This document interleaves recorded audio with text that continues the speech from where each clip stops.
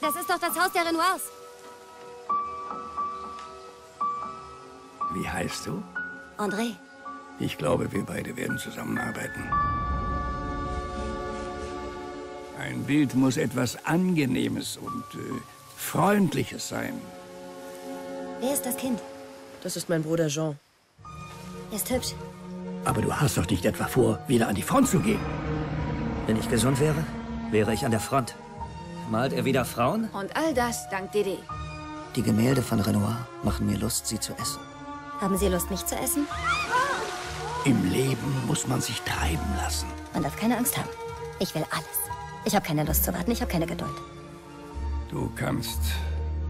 Du kannst auch nicht ohne sie leben. Der Schmerz geht vorbei, die Schönheit bleibt.